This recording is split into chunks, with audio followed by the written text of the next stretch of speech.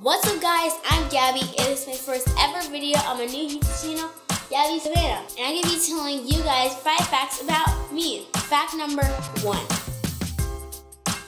I'm obsessed with dolphins because a couple years ago I went to SeaWorld with my family and I saw dolphins and I literally fell in love with them because they are so cute. That's my spirit animal. They are so cute. Fact number 2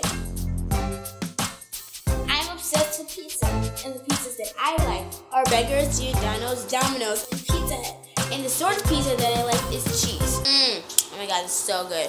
Fact number three. I want to be an engineer when I grow up. Because at my school, there is a program called STEAM, and it's a combination between science, technology, engineering, arts, and math. We get to go on cool field trips and do really fun and cool stuff. Engineers make a lot of money. Making it rain, people. Make it rain.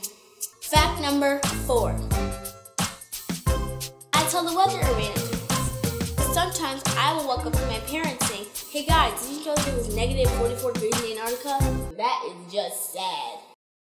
I live in Chicago, and it's wintertime. And sometimes, one day, like for example, if it's like a Monday and it's 50 degrees outside, on Tuesday it's gonna be 20. What happened? Fact number five. I am a jokester, and I tell jokes at random times to my family and friends. And at the end of each of my videos, I'm going to be telling you guys a joke of the day. And the joke of the day is, why did the football player go to the vending machine? To get his quarterback. So that is the end of my video. Please make sure to like, comment, and subscribe, and I will see you guys in my next video. Bye!